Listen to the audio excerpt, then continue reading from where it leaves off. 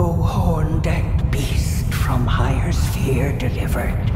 Take root inside the tower's filter keepers, and perched within, we beg of thee.